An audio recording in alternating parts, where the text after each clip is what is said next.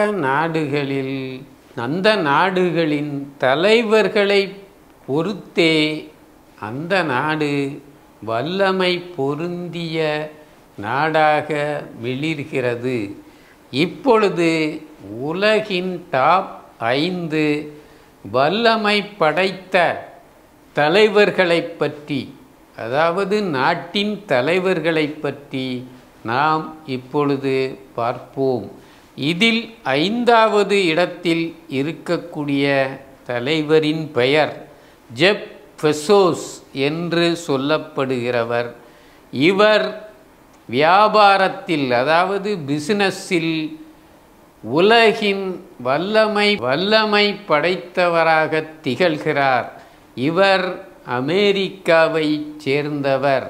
இவரை விட சற்று மேம்பட்டு ஓலோப் கோல்ஸ் என்று சொல்லப்படுகிற ஜெர்மனி நாட்டின் சான்சலர் உலகின் நான்காவது இடத்தில் இருக்கிறார்.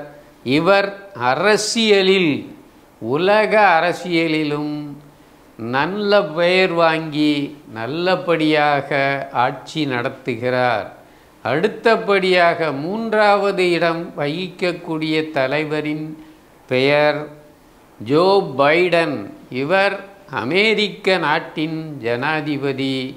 அரசியலில் உலக அரசியலில் உலகின் டாப் ஐந்து வல்லமை படைத்த தலைவர்களின் வரிசையில் மூன்றாவது இடத்தில் இருக்கிறார்.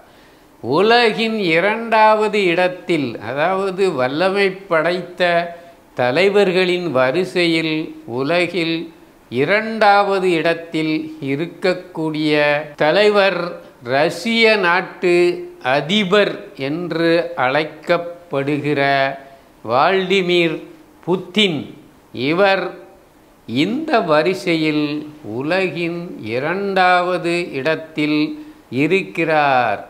அரசியல் தலைவர்களின் வரிசையில் இரண்டாம் இடம் வகிக்கிறார்.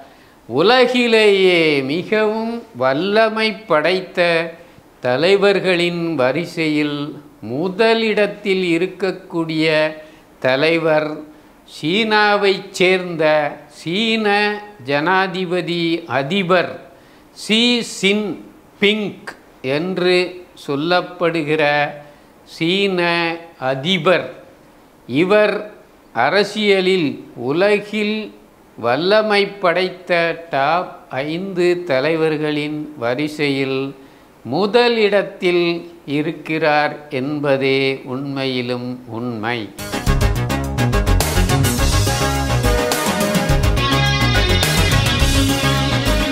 உலகிலுள்ள ஒரு நாட்டை பற்றி நாட்டினுடைய பொருளாதார பலத்தை பற்றி அந்த நாட்டின் மொத்த உள்நாட்டு உற்பத்தியை வைத்து கணக்கிடுகிறார்கள். அந்த உலகின் பொருளாதார பலத்தை வைத்து பார்க்கும் பொழுது நமது நாடு உலகின் ஐந்தாவது இடத்தை பிடித்துள்ளது. நமது நாட்டிலுள்ள தலைவர்கள் நாம் இரண்டாயிரத்தி நாற்பத்தேழாம் ஆண்டில் அதாவது நமது நாடு சுதந்திரமடைந்து நூறாவது ஆண்டை தொடும் பொழுது நமது நாட்டை வளர்ந்துவிட்ட நாடாக்கி விடுவோம். வல்லரசு நாடாக்கி விடுவோம் என்றெல்லாம் ஆருடம் கூறுகிறார்கள்.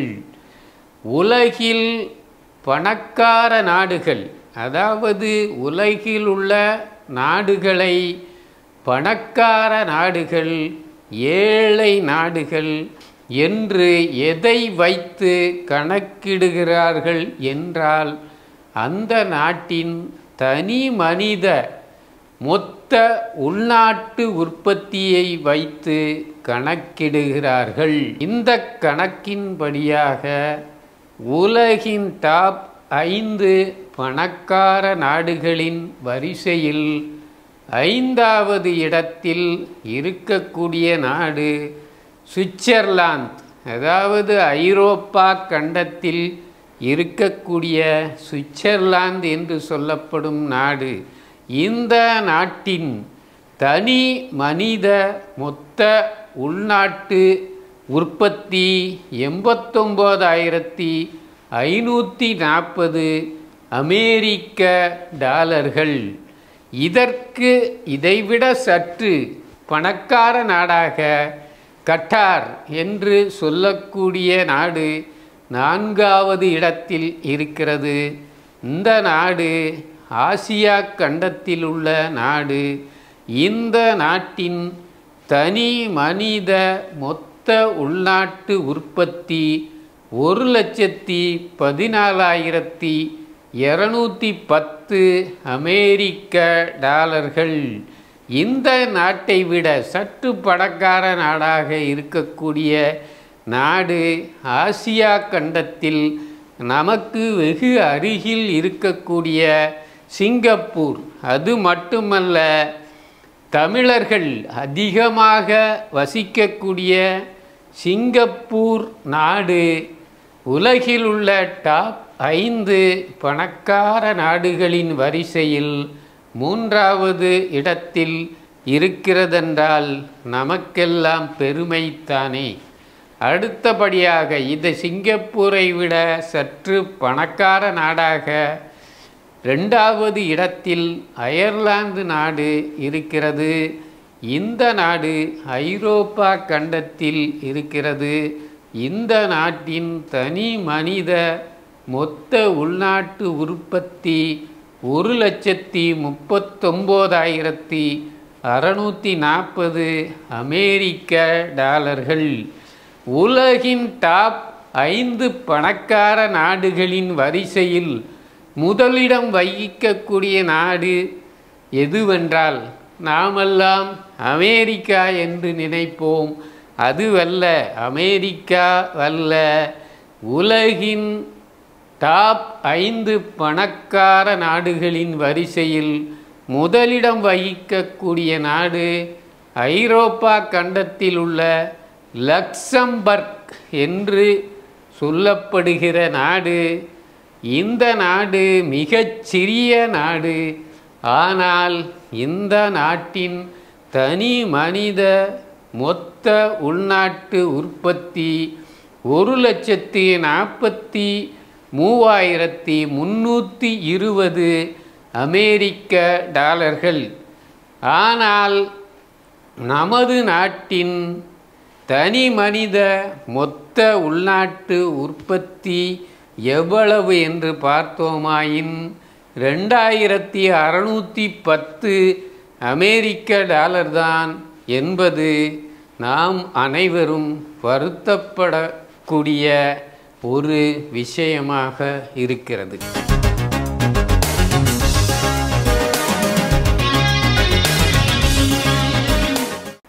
அடுத்தபடியாக இந்த வார கின்னஸ் சாதனையை பற்றி பார்ப்போம். இந்த கின்னஸ் சாதனை நமது நாட்டில் நடத்தப்பட்டிருக்கிறது. அதுவும் குஜராத் மாநிலத்தில் நடத்தப்பட்டிருக்கிறது. என்ன சாதனை என்று பார்த்தால் ஒரே நேரத்தில் நூற்றி எட்டு இடங்களில் ஐம்பதாயிரத்துக்கும் மேற்பட்டவர்கள் சூரிய நமஸ்காரம். ஒரே நேரத்தில் சூரிய நமஸ்காரம் செய்து ஒரு பெரிய சாதனையை செய்துள்ளார்கள்.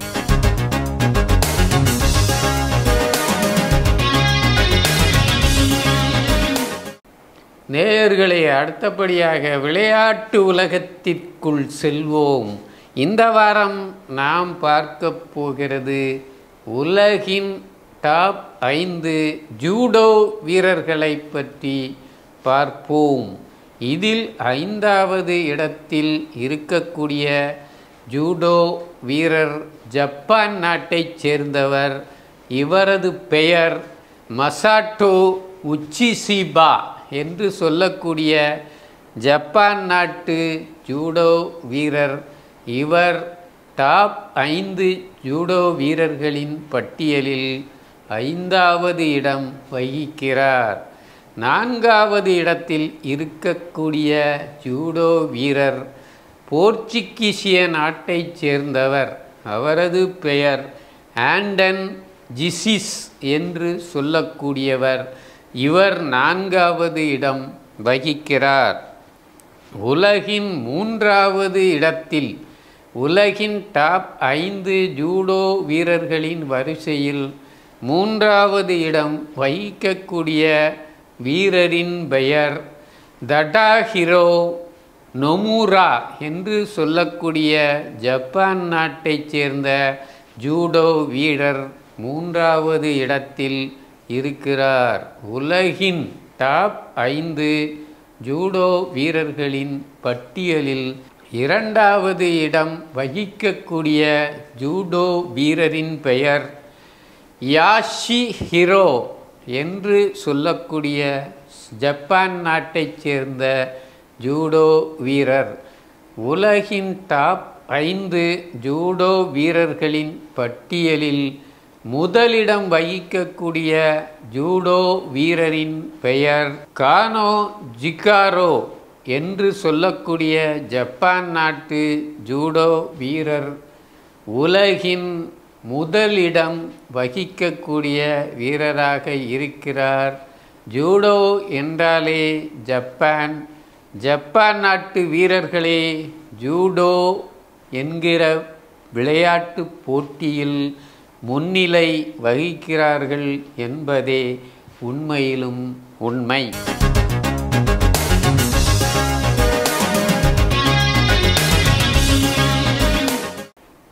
நேயர்களே இதுவரையில் இந்த நிகழ்ச்சியில் ஏராளமான செய்திகளை சுவராசியமான செய்திகளை கேட்டு மகிழ்ந்தீர்கள். இதைப்போல இன்னும் பல சுவராசியமான செய்திகளுடன் உங்களை சந்திக்கும் வரை உங்களிடமிருந்து விடை பெறுவது உங்கள் சம்பத். நன்றி வணக்கம்.